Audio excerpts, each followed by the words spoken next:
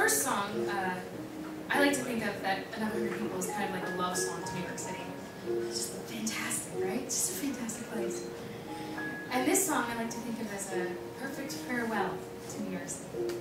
I couldn't get through it if I sang it to you guys, so I'll sing it to this fantastic city that has taught me so much and given me so much, and uh,